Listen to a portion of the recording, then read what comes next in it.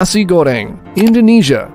Nasi goreng is one of the most popular street foods in Indonesia and throughout Southeast Asia. Nasi goreng literally means fried rice in Indonesian, and it's a simple yet flavorful dish made with cooked rice that's stir fried with a variety of ingredients like vegetables, meat, and spices. The ingredients may vary depending on the region or the personal taste of the cook, but some common ones include onion, garlic, shrimp paste, chili, and kecap manis.